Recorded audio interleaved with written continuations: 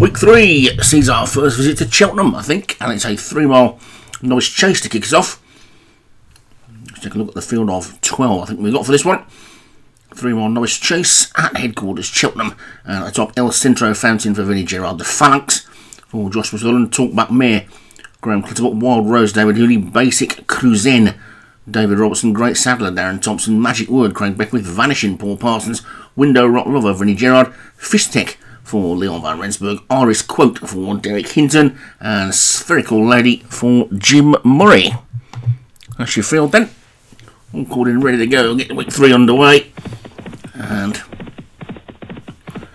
Derek Hinton's Iris Quote is going to be one of the first to show with Great Saddler also there as well for Darren Thompson. But it's the pink jacketed Iris Quote who's gone off into the lead. But he's running a little bit wide there and has gone at the first. Well, dramatic start to the race there, dramatic start to the week as Iris Quote appeared to be trying to run out there, was running off to his right and deposited the jockey on the deck. So that horse is now continuing riderless and he's still running out to his right. So obviously not a Cheltenham type that one then. Oh, Derek might need to, might need to make a note of that and get it going in the other direction next week. But it's back to the race and it's Wild Rose on the inside in the purple jacket that's got the lead from Basic Cruzen in second as they get over the water, which they'll all get over safely, of course. Three grades in this, and two of them are coming up to dispute the lead now. Graham Clutterbuck's Talkback Mare closest to us, and Jim Murray's red sleeved spherical lady over on the far side as they take this ditch,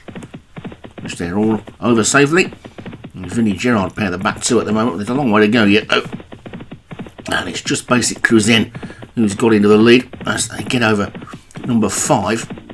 Darren Thompson's great saddler wasn't foot perfect at that one, but there's a leading line of about five of them now then as they head to fence number six, and it's on the far side on the rail in the purple jacket. Wild Rose is just in the lead from Spherical Lady next to it. Oh, there's another fall there, another one down. It's Fistek gone this time, so Fistek's gone for Leon, and that's a bit of a surprise. Wild Rose is now the clear leader from the two greys, Spherical Lady and Talkback Mare. Then tucked in on the inside, the Phalanx is running a quiet little race without being noticed on the inside there for Josh. Then Basic Cruzen, the earlier leader, just dropped back into fifth. Then the third of the greys is Paul Parsons vanishing in the white jacket as they get over the seventh, where Basic Cruzen was slow and Window Rock Lover at the back made a bit of a mistake. The other one towards the rear now is Magic Word for Craig Beckwith. They're racing downhill now towards the next. And Talkback Mare has got into the lead for Graham Clutterbuck. The Phalanx now being pulled off the fence. A little bit wider, two horses wide in second. There with a batch of three greys. As Wild Rose drops back into fourth. Great Saddler is fifth, then El Centro Fountain as they get over the eighth, and they're all safely over the eighth, although Basic Cruzen is jumping very untidily as they get to the ninth, which they all get to the other side of OK, and that should be the last on the next circuit, I think. As the Phalanx goes into the lead for Joshua Sutherland. So the Phalanx in front then from Spherical Lady on its inside. Talkback Mare just back in third, then wider on the track, vanishing. The third grey is fourth, but went right through that one and has subsequently dropped back a little bit. Wild Rose now moving up into fourth. Great Saddler, after a couple of early mistakes, is now on a bit of an even keel running in fifth, and on the inside rail, El Centro Fountain going well in the green. Basic Cruzen is next, and a gap of a couple of lengths back to Window Rock Lover and Magic Word, who's now the back marker as they get over number 11. And the lead is being disputed by Spherical Lady, the grey on the far side. Wild Rose in the purple jacket closest to us, and the Phalanx in the Dennis the Menace colours in between. And the leading three. Then Basic Cruzen is next. You can see the loose horse there. Iris Quote still rolling around all over the place. Out to the right, into the left. They go over this ditch. And there's a faller there at the back as well. Vanishing's gone, so that one had made a mistake or two and has now departed the race. Talkback Mare is another one who's totally lost its place and dropped right out the back. Well, not quite out the back, but right towards the back.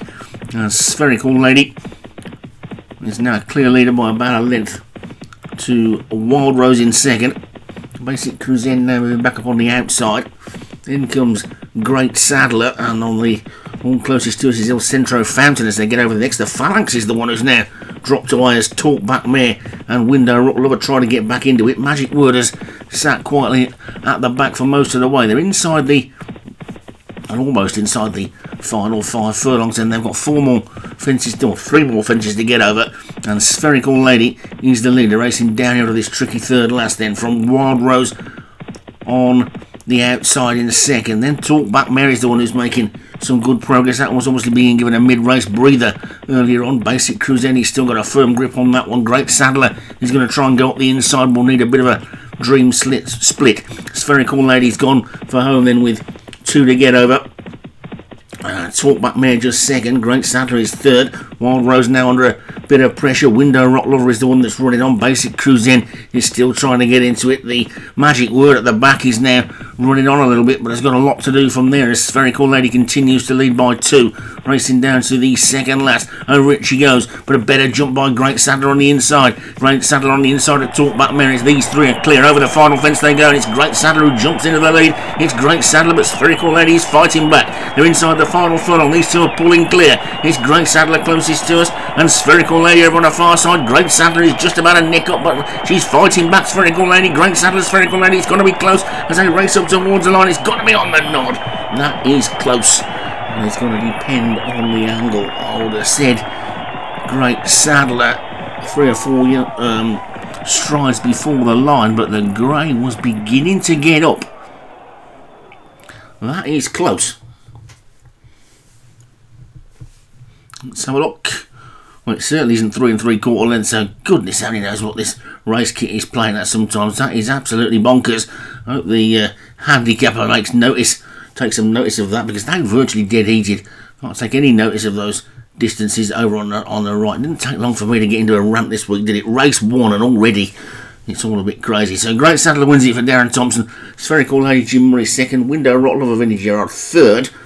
Back in fourth was Wild Rose for David Hooley and the Phalanx, who was probably quite disappointed I would have thought for Joshua Sutherland, was back in fifth.